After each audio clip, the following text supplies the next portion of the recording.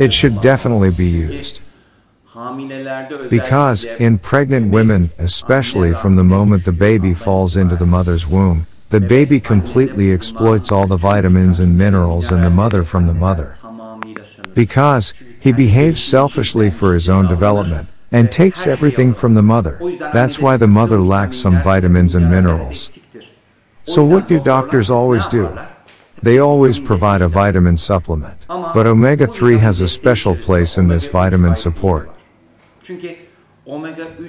Because omega-3 has been shown to be excessively associated with sleep problems and depression.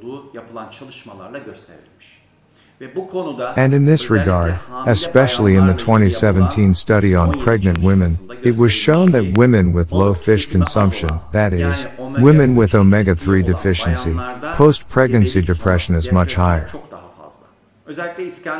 Especially in Scandinavian countries, when there is almost no post-pregnancy depression, but in our country or in countries that consume less fish, if there is an omega-3 deficiency, that depression reaches a very high level during the pure period.